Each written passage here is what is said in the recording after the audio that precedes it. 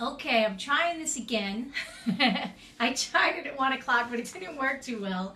Uh, okay, so right now we have, um, let's see. Oh, okay, great. Uh, so it just looks so bright. So let me just bring that color down. My gosh, it looks like I'm out in the sun.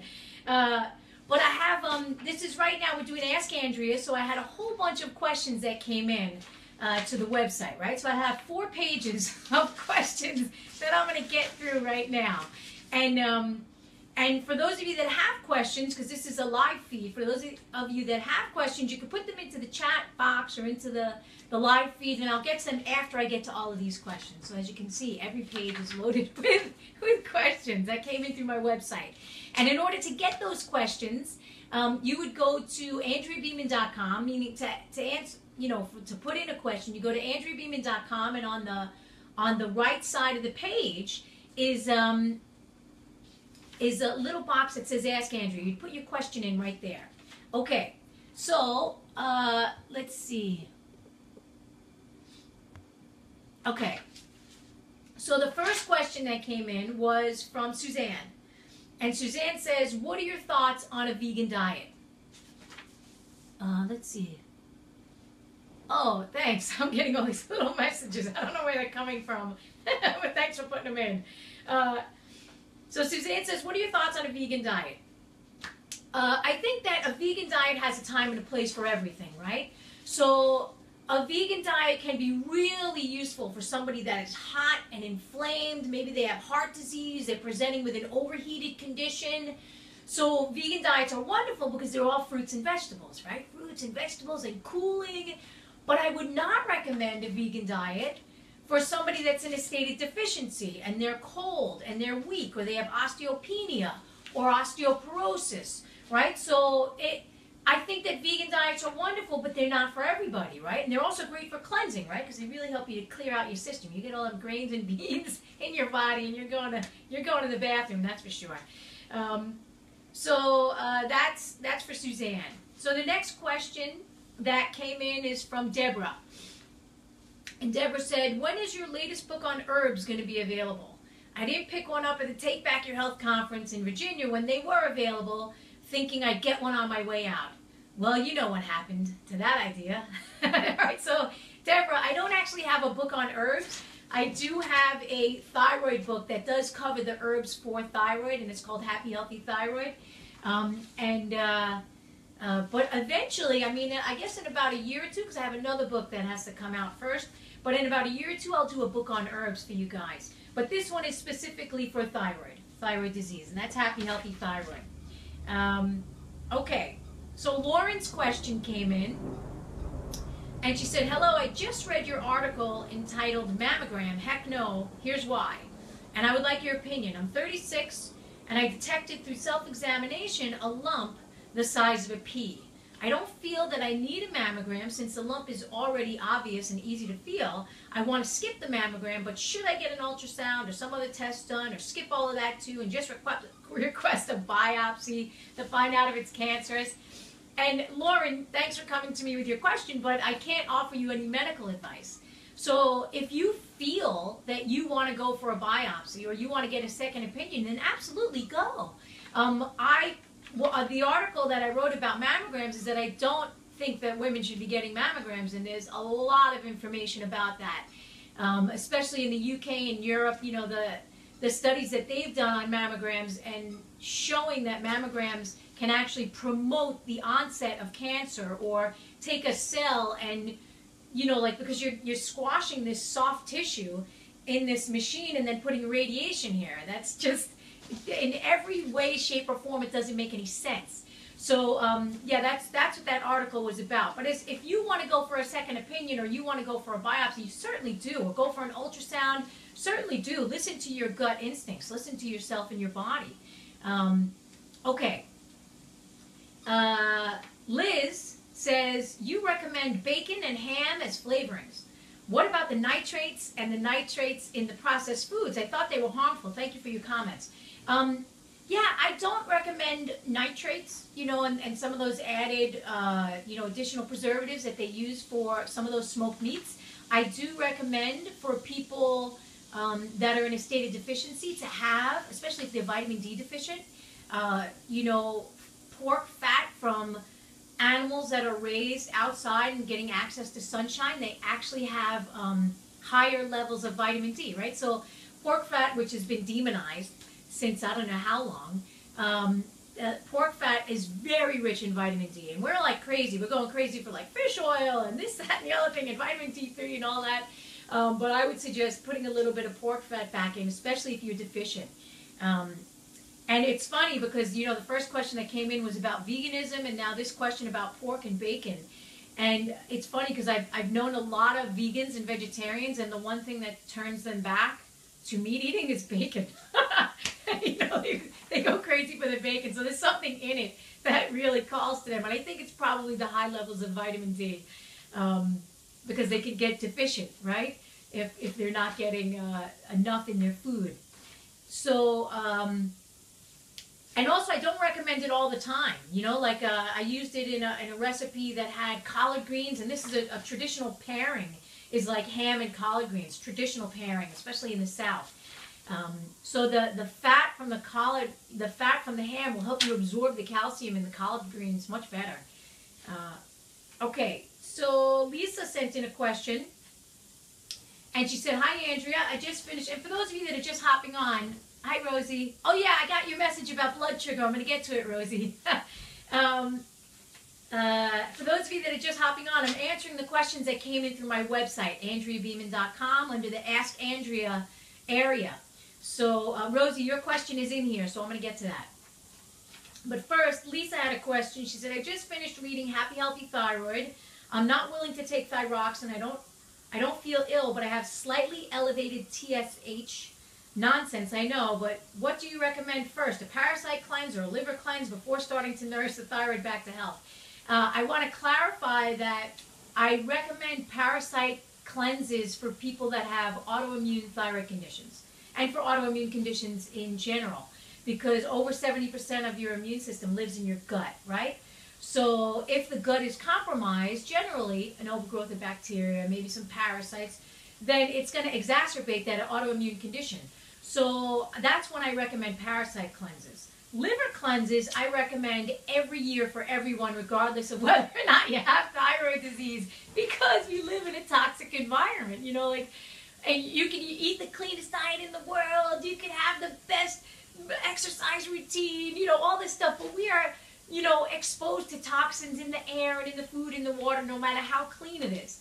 So I do recommend a liver cleanse once per year, once per year, usually in the springtime. So like coming up March, uh, I would highly recommend a liver cleanse for the majority of the world if they're in spring. um, uh, Chris, Kristin says she has SIBO and she's not absorbing fats well.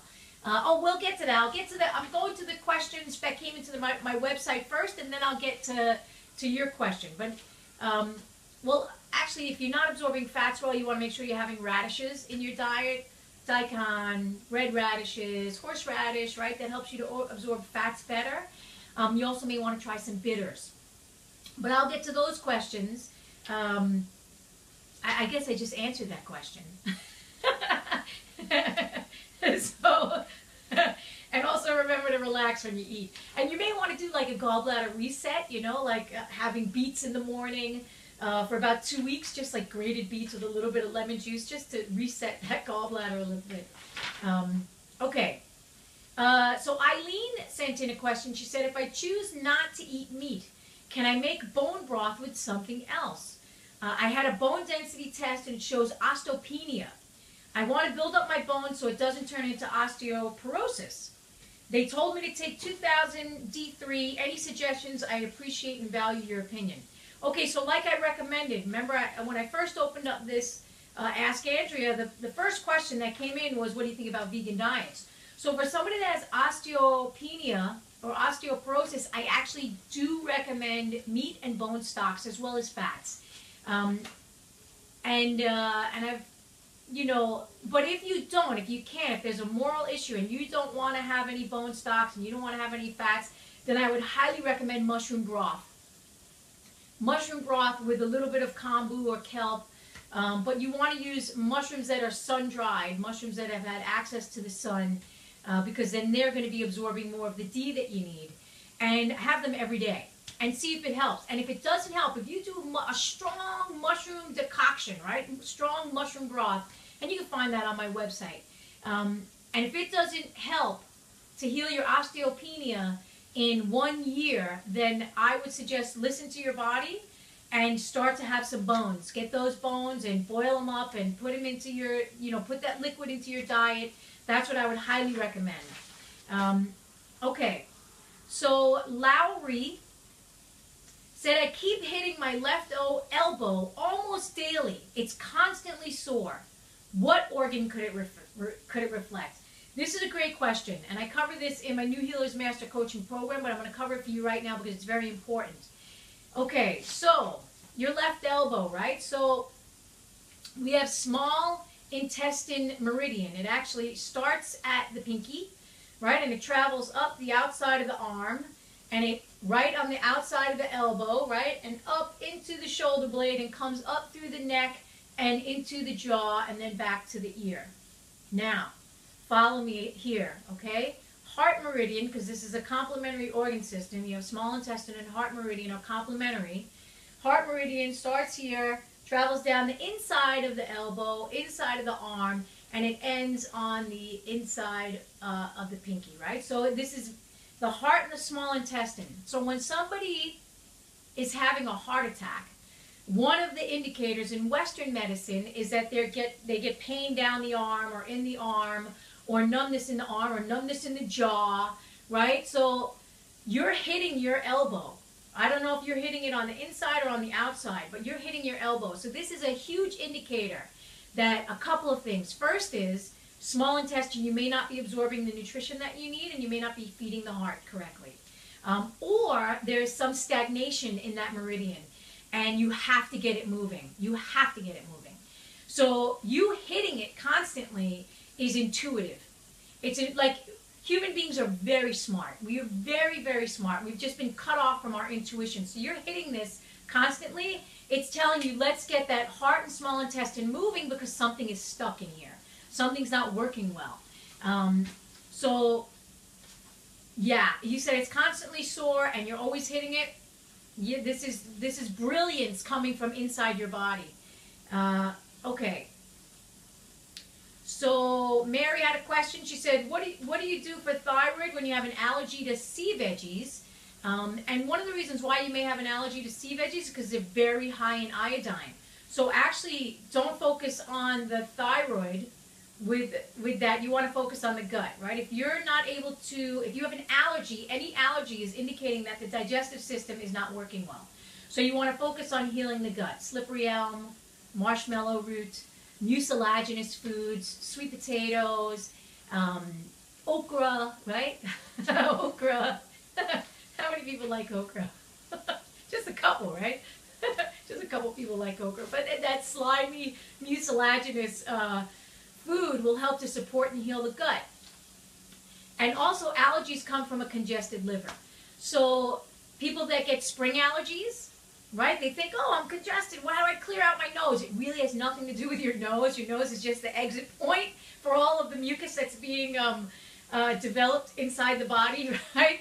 To help with the inflammation uh, because your uh, liver is congested. Uh, so what, remember I said earlier, for those of you that were on earlier, I said I really highly recommend a liver cleanse every spring. And one of it, one of the reasons is just to clear that area, to clear your system so that you can digest food better. Um, the next question came in from Monica, and I should be crossing these off. Let me see, do I have a pen? Hold on, I got a pen.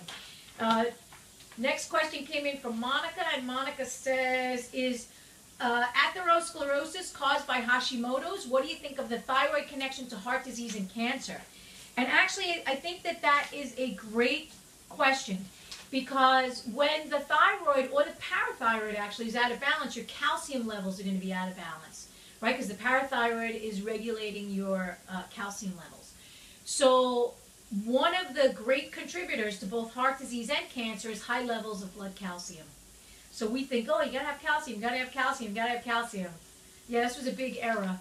this was a big era from the 70s until now. Look up the information about what happens when the calcium levels are too high. Um, so there's a possibility with Hashimoto's, because this gal is Hashimoto's, that she also is not absorbing properly. So that's something to, to look out for as well. Um, yeah, I'm going to get to you guys' questions. I got to get to these questions first that came in. Uh, and I will. Uh, yes, Denise, I'll get to you and Brenda and everybody that's putting in stuff. Let's see what time is it. 122? Okay, I got to rush. um, Merv, Merv came in with the next question. How do you keep your body alkaline consistently to prevent cancer? The problem is everything I eat during the day constantly changes my pH. Okay, newsflash. Everything that you eat is going to change your pH.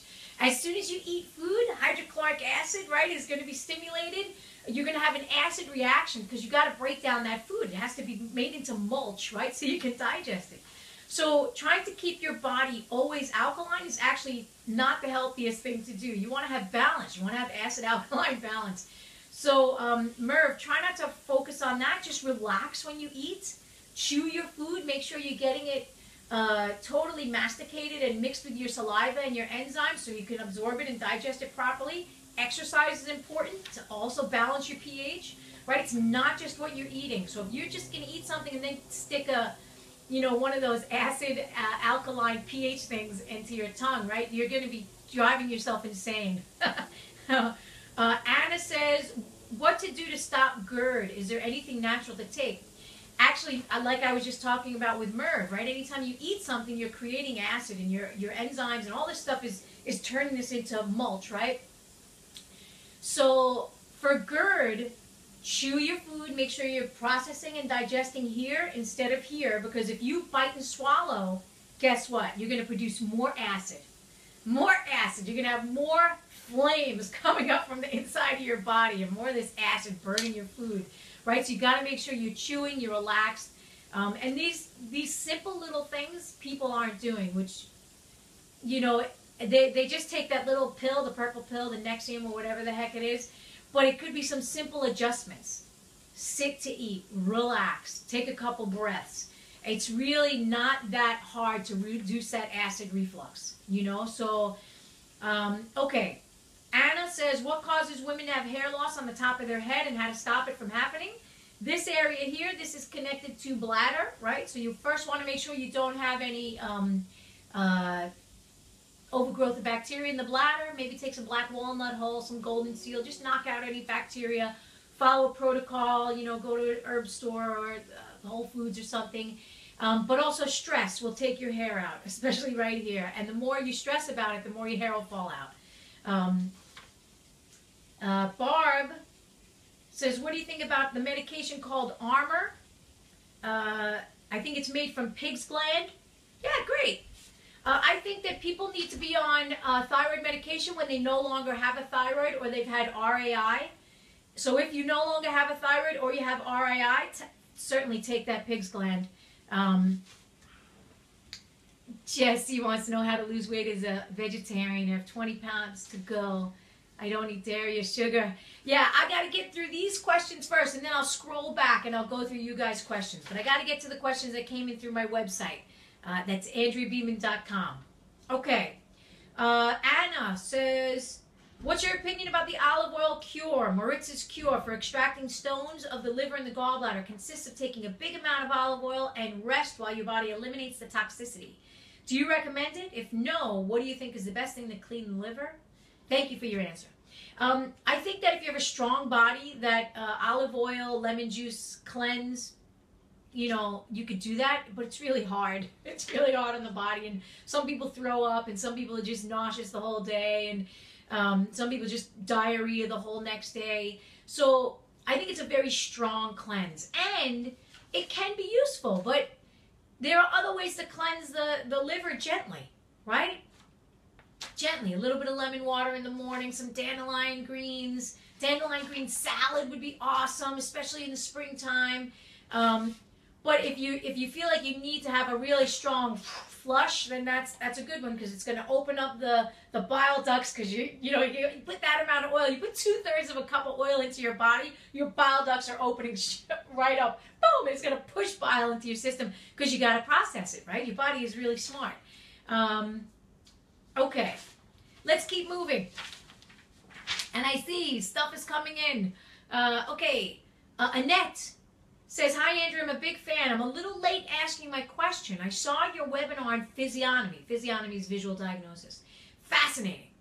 I have a brown patch about two inches wide that I recently noticed on my right where my hip bone is. Not sure what that's indicative of. Also, I live in Manhattan Beach, California, and I'd like to find a practitioner like you to go to. Do you know of anyone that you can recommend? Okay, so two two things. The first is the brown patch that popped up on your hip. This is connected to your gallbladder, right? Your gallbladder and your liver. Um, so, because this is the gallbladder meridian, travels down the both sides of the body, on the outside of the body, into the top of the head, right? It goes up and down the body. Um, and brown patches are related to liver, and the liver and the gallbladder work together simultaneously in harm, you know, in harmony, right? So it's a complementary organ system, like heart and small intestine, like I said before. So the first is there could be too much sugar in your diet. Your body may not be able to handle the amount of sugar. The liver may not be able to store that amount of uh, sugar, uh, or it's it's you know like it's storing and then it's releasing really quick. Um, so you we've got to look at liver gallbladder for you. As far as finding a practitioner like me, uh, I've been training people for about you know, four years or longer, send me an email, info at andreabeaman.com, and I'll check in with my group, my New Healers Master coaching group, and I'll see if anybody lives in that area and can work with you. Right? Work with you on herbs and diet and lifestyle and all that stuff. So send me an email to info at andreabeaman.com and I'll have one of my students, if they live in that area, contact you. Uh, Sanjita, says restoring gut microbes to heal the inflamed gut lining so that body can absorb the vital nutrients. Okay, so restoring the gut microbes, you got to make sure that that gut has the right consistency for the, the microbes to stick in, right? So you need, this is where mucilaginous foods come in really handy. Yogurt, kefir, um, right? Because they're gooey. They can, you know, they have that stickiness, right? Everybody thinks, oh, dairy is bad. There's a place for dairy. And if you want the gut microbes to stick inside your body, put them, let them come in on with uh, um, yogurt, with kefir, with something like that. Um, you could also use slippery elm, marshmallow roots. Um, you know, uh, seaweed, one of my favorite mucilaginous foods for helping to restore that gut, right? Um, and then, you know, it takes time. You got to relax when you eat in order to get all that stuff. Okay, so Rosa, Rosalbina, Rosal, Rosa from Costa Rica. She says, Hi, Andrew. My problem is high blood sugar, especially in the morning. As you know, I'm living in Costa Rica and I have all kinds of herbs in my garden. I would like to know which one would help me. Thank you and a big hug from CR. Okay, so Rosa, and I don't know if it's Rosalbina or Rosa Lena. I think maybe spelled wrong. Not sure. Um, for high blood sugar, especially in the morning, you want to wake up in the morning and you actually want to utilize that sugar, meaning you want to exercise. So, not rigorous exercise, but stretching. Open up your body, stretch, uh, take a little walk before you have your breakfast. But the blood sugar, you know, your blood sugar gets high when the cells can't use the sugar, right? Because your body is saying, I can't use this sugar. I'm not opening up the cells. I'm not going to open up the cells and let the sugar in and it's causing the blood sugar to rise in the in the body. So you want to actually utilize the sugar that's in your cells so that your pancreas says, "Okay, let's go. Let's get that let's get some insulin over there because insulin is the key that unlocks the cell and lets the sugar in to reduce that blood sugar. So you actually have to exercise. Um, you could certainly use herbs. You know, fenugreek. I don't know if it grows in Costa Rica, but that's a blood sugar lowering herb. Um, as well as maitake mushrooms. Mushrooms are they're one of my favorite blood sugaring fungi. Um, blood sugar. like did I say blood sugaring? oh my god, I'm crazy. okay, uh, Peg. Peg says, "What herbs would best help with lymphedema issues? I have abdomen, abdominal and thigh issues. Due to 48 lymph nodes being re- removed from ovarian cancer surgery. I also had eight lymph nodes from axillary area with a bilateral mastectomy. So I also have upper arm lymphedema. Any suggestions? Yeah, you had a lot of stuff going on. So for the lymph, of course, you know exercise is imperative for the lymph, right? Because the lymph needs movement in order to move. So now you have all this lymphedema because they took out the lymph nodes. I think um, I would put burdock root in your food um, for sure because it, it really helps support the lymph. Uh, but also, you gotta move. You've gotta move your body. Get that body moving. Uh, that helps with the lymphedema.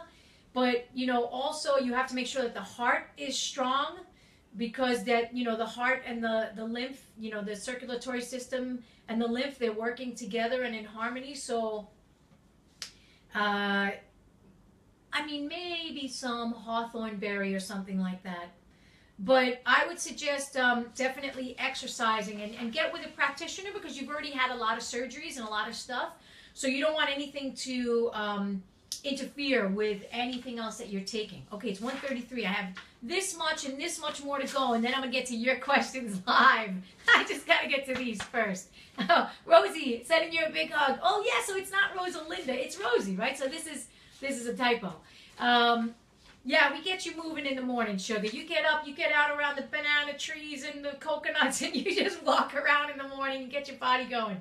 Um, okay, so Carolyn, Carolyn says, oh, and for those of you that, um, if I don't get to you and you want to get your question answered on the next Ask Andrea, you go to AndreaBeaman.com, and on the right hand side, there's the Ask Andrea box. You put your question in.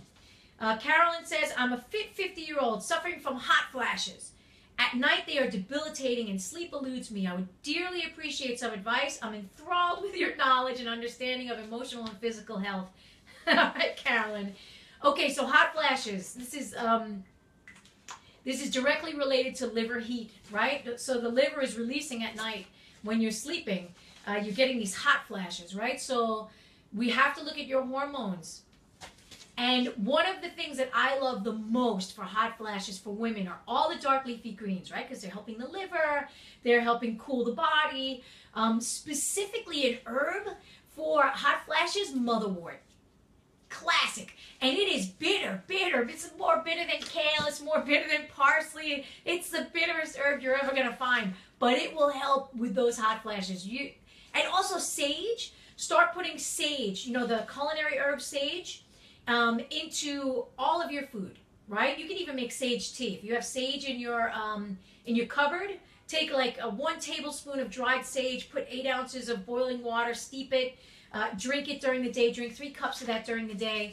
Uh, but sage also helps cool down hot flashes, and again, that has another really bitter, bitter uh, flavor.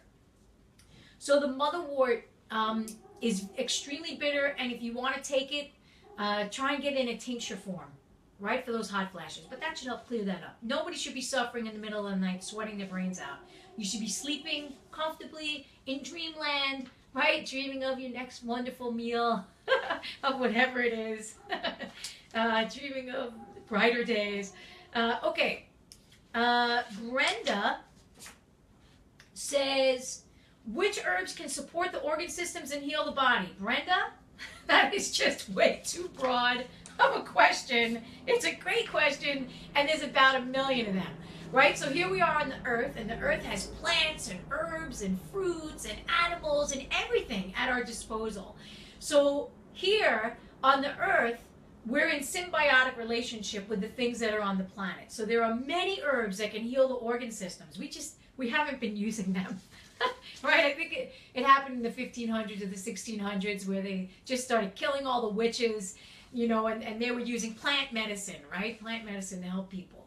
Um, so thankfully it's making a comeback and the witches aren't being killed. Like I consider, I'm probably a witch, right? You see all the crazy hair. I put firecrackers in my hair to make it look like this. Uh, hi, Ashley.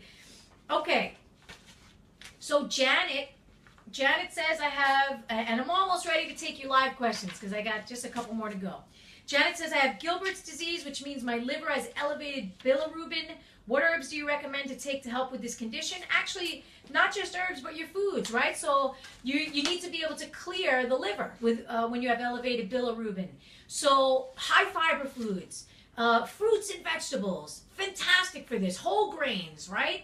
Um, oats, wonderful for something like this to help clear. Uh, remember I talked about dandelion before. That's a fantastic herb. Put it in salads. That will help to clear some of that um, uh, that liver stress that's going on because when you have elevated bilirubin, you're not clearing. Um, so you want to make sure that you're getting the right food and you're also um, clearing that liver. So exercise, probably running, uh, would be great for clearing. Um, you know, I would also go and get massage as well. You know, you could get a, a abdominal massage. Uh, you know, uh, Mayan abdominal massage, shiatsu, they do abdominal massage, but all of that will also help to clear, right? Because we want to clear the area. I want to clear the area. uh, Deborah says, I have psoriasis and I'm living in Texas this time of year. Cedar is bad. I've been tested by my acupuncturist being sensitive to cedar what is it that when cedar aggravates my sinuses and I feel like crap for a couple of days, that even if I'm eating correctly, my psoriasis will break out on my forehead? I assume it is the toxins pouring out. Um, your forehead is connected to your digestive system, right? So, so is this here. But this is connected to small intestine, and up here is, you know, bladder and stuff like that. So, um, you're you're having a reaction and your body's not clearing so it's coming up through the skin so anytime that we can't clear through the detoxification organs, you're going to clear through the skin. You're going to get psoriasis, you're going to get eczema, you're going to get boils, you're going to get stuff that pops up. So you want to make sure that your detoxification and your elimination organs are working well, especially when that cedar pops up and you're having an allergy to it. Um, I would do a liver cleanse once per year for this, for sure. And you could go onto my website and put into the search box liver cleanse, and you'll get all the liver cleanses. Um, okay, let's see. Uh, Nan says my daughter is nine years old and the blood work shows TSH third generation value 5.34, T4.9. How can I put her in the normal numbers? Thank you. Well, first thing you gotta do is get her off any um, crap foods and get her onto real whole foods um, because um, the thyroid will normalize. Also, if she's under any stress, it'll throw out the thyroid, right? If poor little kid is having stress in school or something like that, this is a very sensitive gland. Um, so if she's not able to express herself, also that will affect this gland. Um, so there's a lot that you can do, and I would highly suggest you pick up Happy Healthy Thyroid. It'll show you how to get your um, and the author is Andrea Beaman. It'll help you show you the foods, the right foods to eat, and all that stuff to help you get your uh, your numbers balanced. You can also go on my website, and in the little search bar, it's a little my, uh, magnifying glass put in um, the word thyroid, and everything uh, related to thyroid will pop up. Carol says, I get thin black vertical lines on my fingernails. Do you evaluate fingernails? Yeah, okay, so when you're getting black lines, and I've seen this in, in lots of folks, when you're getting black vertical lines, uh, generally there's some toxicity that's happening with the liver that it can't process. So um, and I know everybody's like, oh, liver this, everybody's got liver problems. Yeah, we're living in like liver time right now, right? We're living in liver congestion and kidney depletion. Like this is the main stuff that I see, especially in the big cities. So the black lines, you know, like you can tell the health of the liver as well as the thyroid by looking at the nails. So um, when the nails are thin and brittle, then thyroid's not, you're not absorbing proteins properly, thyroid's not balanced but also the liver presents itself through the nails, right? So also through the eyes, because the liver meridian comes up through the body and goes through the eyes. So um, if you're getting black lines, you have to look at liver toxicity. Um, and also if you get black dots on your nails, then you have to look at actually um, blood in the stool, because uh, it could be hemorrhoids or something like that going on. Um, okay, D says I have uh, varicose veins behind my left knee and the skin around the area, and I got a rash. It's rough and itchy. What can this be? Are there ways to heal varicose veins? Mine are thick and bulging out. Yeah, actually, astringent food and herbs will help. Like your veins that have popped out already, you may not be able to heal those. They may, you know, they may, they may, you may be able to take the pressure off of them, but they they're already pretty um, uh, expanded, right? So you could take the pressure off of them with astringent foods.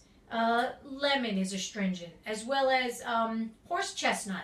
But look, I would get with a practitioner.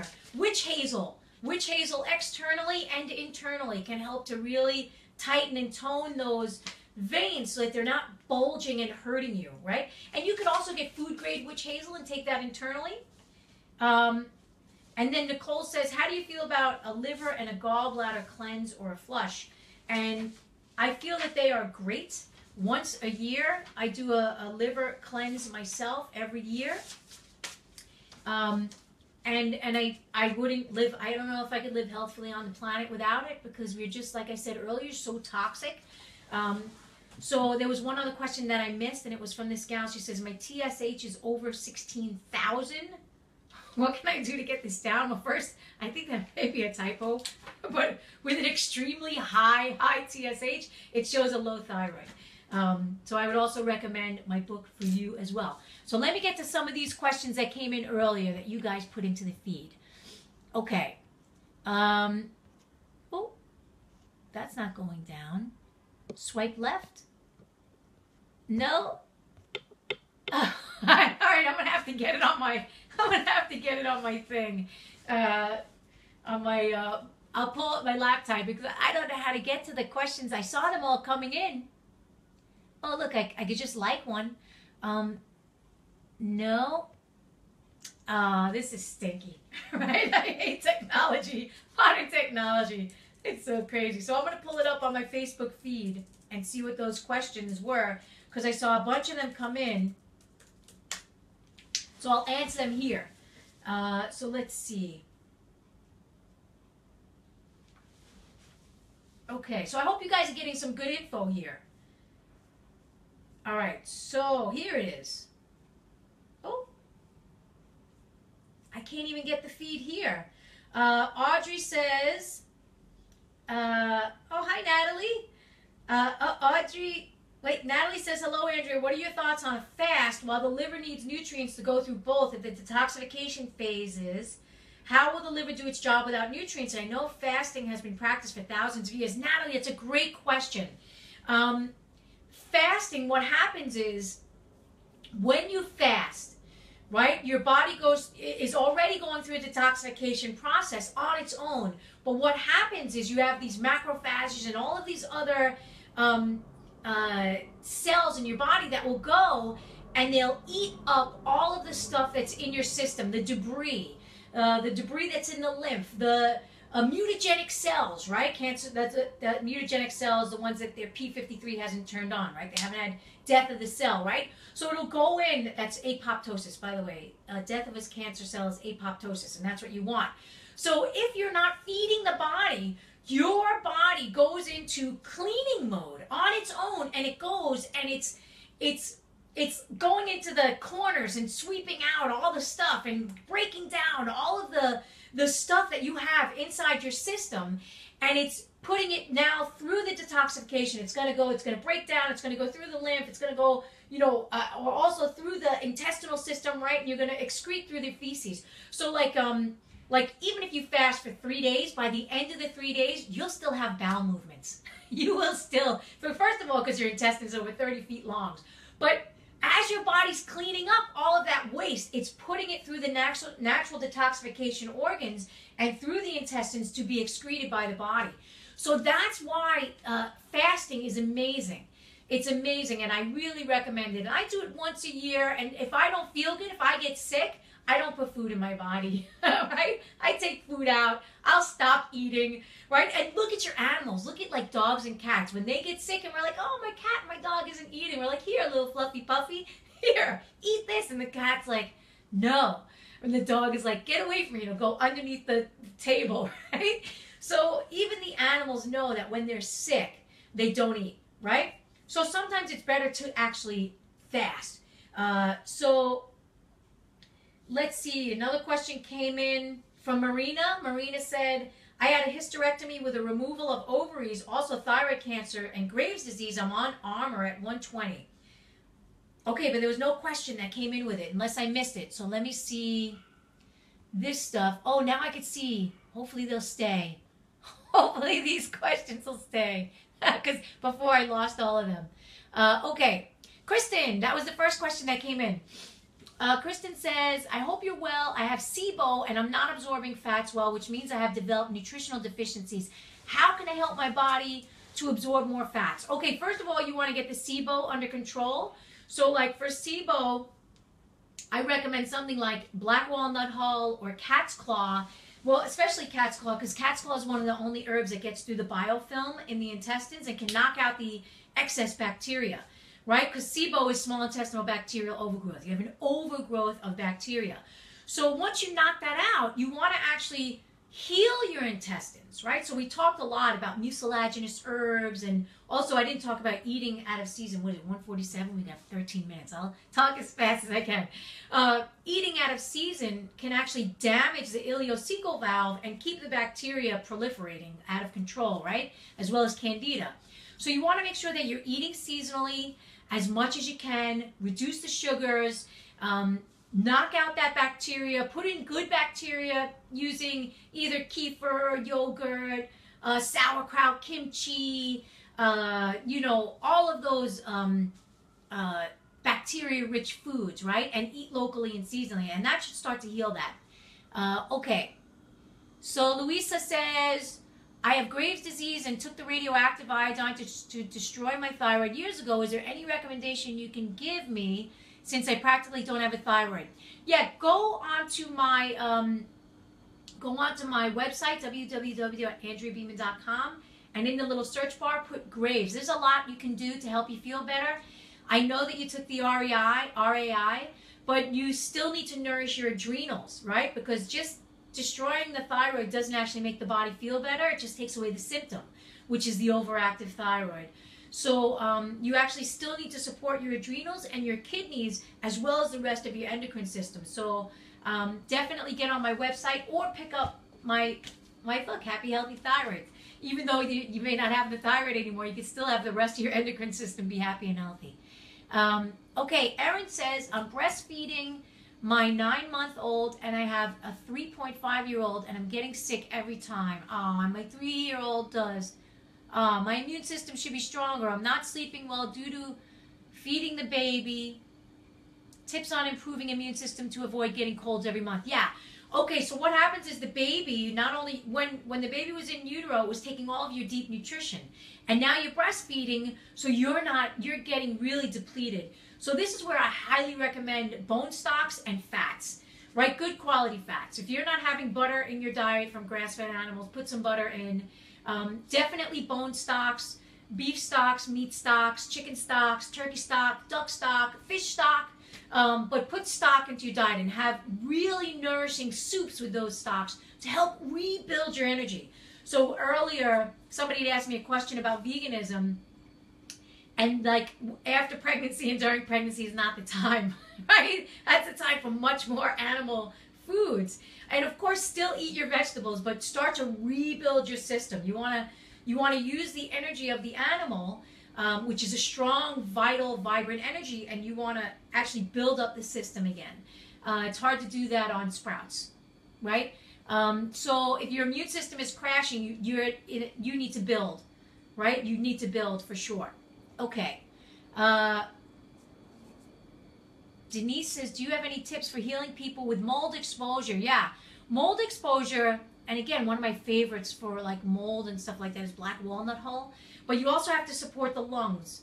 So you've you've got to first get away from the mold. You have to boost your immune system, support the lungs. So there's a, a great Chinese herb.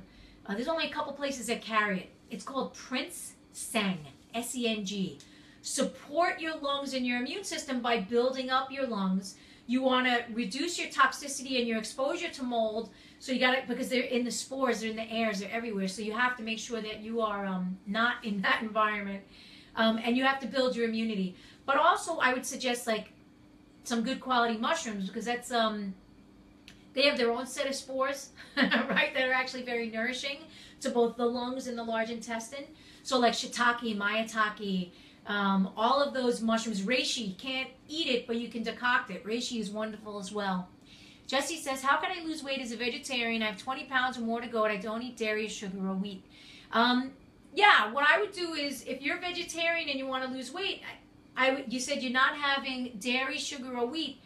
As a vegetarian, are you having eggs? I would actually increase your eggs and your non starchy vegetables onions, greens, carrots, cabbages, right? I would increase all of those. I would reduce the starches a little bit just to help you balance out and increase the proteins, right? So if you're a vegetarian that eats eggs, then you put more eggs in, right? So that you could balance out the amount of carbohydrates. So vegetarians have a tendency to eat a lot of beans and grains. And for some people that is great and for some people it doesn't work well. So I've found that um, when you just reduce the starchy uh, veg and grain a little bit and increase the protein, right? So if you're not even doing eggs, then increase your beans a little bit as well as your non-starchy veg. And that should help. Um, okay, let me get over here. No, cancel that. Uh-oh, I can't get here. Um, Lisa says, Hi, Andrea. I read your book. I started eating good quality meats and organic veg, and my TSH has dropped from 4.54 to 3.4 in one month.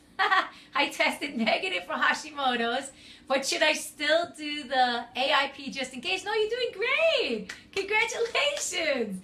You're doing great. Um, just keep doing what you're doing, right? Don't overdo it. Don't have so much uh, uh, good, you know, like you, could eat good quality meat, but you could overdo it as well. So just make sure you're having a nice balance of your meats to your uh, fats to your to the to the vegetables to the starches, right? And don't no, don't neglect the starches, right? So a lot of people they go on they start healing their thyroid. I hear from people all the time. They're like, I'm not eating any potatoes and I'm not eating any grains. I'm not eating any beans. They just eat protein and greens, and and it can actually cause the thyroid to crash uh, because they're not getting the glucose that they need, enough of the glucose, and they're also not producing enough of the insulin, right? So that's it's all connected. So you're doing great. Just keep doing exactly what you're doing, right? Um, okay. Uh, oh, Jesse says, what is facial diagnosis called? Oh, physiognomy. Physiognomy. Um, oh, Rosie, big hug right back to you, little cutie pie. Um, and we are at 154, so I got six minutes. Uh, thanks, Elsino, for sharing my video. Uh, Jesse says, what are your thoughts on a raw food diet, especially a high fruit diet? I think that there's a place for it, Jesse. You know, like um, like I said earlier, when we first started this, somebody asked me about a vegan diet. And if somebody has an extremely hot condition, they're overheated, they're inflamed, they have heart disease, uh, they have, you know, inflammation all over their body, right? I think fruit, being a fruitarian is pretty smart because fruits are extremely cooling, right? Um, I wouldn't do the, I know there was a guy that was doing like 25 bananas a day. It's, I, I, I wouldn't go that far, but some people like 25 bananas a day. Uh, not for me. Um, but, uh, you know, it all depends on their condition. But I think that we are designed, physically designed, as um, uh, not as vegetarians and not as carnivores, we're in the middle, right? We are omnivores. We're, we're designed, we have stomach acid, we have hydrochloric acid, we have enzymes, we have carbohydrate digestive enzyme, we have protein digestive. So we have all of the things that we need. So it, the, the, the physical design of our body speaks to being more omnivorous. Um, so I think use meats when you need them, use vegetables when you need them, use fruits when you need them, but start to listen to the body and let the body guide you, right? Am I am I overheated? Am I too cold, right? If somebody's too cold, I'm not putting them on a fruitarian diet, right? I'm not not putting them on fruits and vegetables. I'm going to tell them to have stocks and meats and you know, go out and get yourself a nice cheeseburger from a grass-fed animal, right? Build build the blood. Put some rosemary in your food, right? So you have to look at food. Well, what's going on?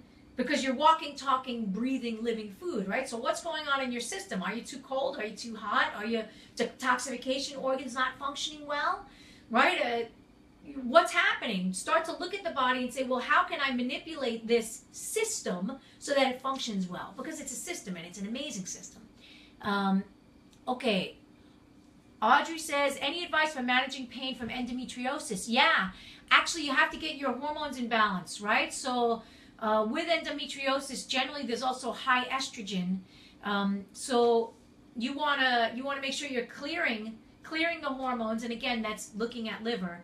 You want to make sure you're getting that liver flushed and supported uh, the best that you can. And for the pain, hot water bottle is amazing right? A hot water bottle when you have the pain. It's such a simple little remedy, but put it on there and, and, just rest. Go rest. You don't need to do anything. You don't need to go and save the world, right? Just go rest. Um, yes, okay. Oh, yeah, I, I did that one already. Oh, we're close. We're at 157. Uh, Marina said, I had a hysterectomy with the removal of the ovaries, also thyroid cancer, full and Graves' disease, I am on arm. Oh, yeah, yeah. There's no question. They have to put in the question in two minutes. Um, Hillary says still have muscle pain. Okay, so if you have muscle pain, go get a massage. Um, also, why is the pain there? Are you tight? Are you too tense? Are you too stressed? Take an Epsom salt bath. Put some lavender essential oil in there, right? Somewhere, if you're having muscle pain, you have to open up and relax, right? So, um, if you're having muscle cramping, then your uh, magnesium is, is out of balance. Your calcium and magnesium is out of balance. Uh, so that's, you know, nuts and seeds, fantastic for the calcium, magnesium, right? You could also take an Epsom salt bath, right, to get the magnesium that you need. But that will all help to relax your system. Um, uh, Louisa says, I have Graves' disease, took the... Oh, I already answered that. Okay. Uh, and I answered that one. Uh, Marina says, oh, we only have two minutes left. I'm trying to get to as much as I can. my, uh, Marina says, my doctor wants to change me to Synthroid so I can lose weight. I have brain fog and I'm tired.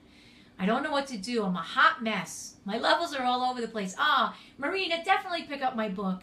Um, you know, and also you say you're a hot mess, so that tells me that it's liver heat rising. So you, you you know, like motherwort, one of my favorites.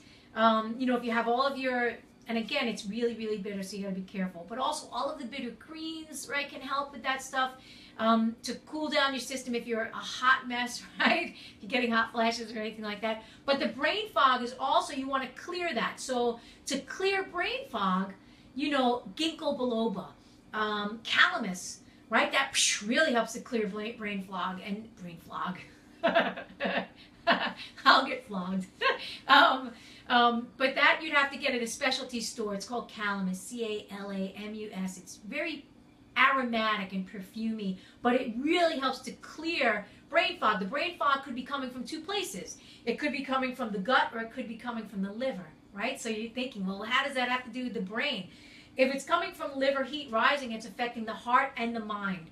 If it's coming from the gut, it's like a stagnation, right? A, heavy, dense stagnation. So to clear that, calamus would help with the brain. Rosemary would help with the gut, right? Put rosemary in your food. It also helps with brain.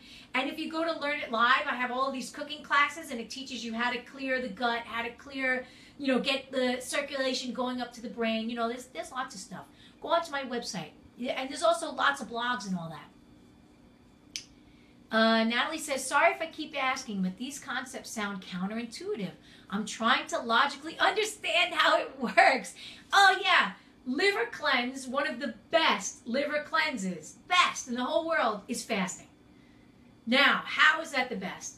Okay, when you fast, your body has these scavenger molecules, these scavenger cells that go in and clear up everything that's in your system, right? Whether it's debris that's in the lymphatic system, stuff that's in the digestive system just sitting there, um, Uh, clearing the blood of debris, right? It goes in and it scavenges. That's what happens. So when this is going on, this is helping your body detox so that it's freeing up, right? It's it's freeing up the energy of the liver because the liver is constantly detoxing, right? So it's just pushing stuff through. Let's go get the detoxification systems moving. Let's go get the lymph system moving. Let's go. So this is one of the ways that you can actually help the liver is to not eat. Now, what's going to happen is, and it's it's two o'clock, so I got to end this. What's going to happen is, initially you're going to get so tight and angry as, as your body almost goes into like a squeezing, right? It's going to start to squeeze and push those cells out, right? Um, but by the third day of a fast, um, your liver is going to be like, woohoo, life is good. I'm happy, I'm healthy, right? And then start eating again uh, small little meals. Um, but there's, there's information on my website on a fast. There's also lots of books on it, but it'll help. Okay, so this was my uh, Ask Andrea. This was my Ask Andrea. Any other questions that you have, you can go to info. Uh, you can send an, an email to info at andreabeaman.com or you could put in your question, right? Because those people that ask their questions on my website, they get answered first. They get top priority. Sorry, guys. They get top priority. Um, so you go to my website, andreabeaman.com, and on the right-hand side, you go to um, Ask Andrea, put in your question. And for those of you that want to understand a deeper understanding of healing the body, you can always hop on and join my New Healers Master Coaching Program. So you go to my website and you go to programs, and right there, New Healers Master Coaching Program. It's a four-month program. It we cover all of the phases of the, the liver and the organs and the kidneys and the adrenals and the heart and the circulatory system. We cover the whole body as well as the herbs and the foods and how you can see illness uh, before it manifests into a real disease and, um, and how you can stop its progression. It's, not about medical diagnosis, it's about using ancient forms of diagnosis to assess what's happening in the body, where the pain is, right? For that poor gal who had the elbow pain, oh my gosh, um, right? So you can assess what's happening and then make shifts in that person's diet and lifestyle so they can start healing. So that's uh, the New Healers Master Coaching Program. And uh, thank you guys for coming out today. I loved answering your questions. I love this stuff. Um, and uh, and any other questions, you go to my website. And I'll see you next time. Okay, have a great weekend.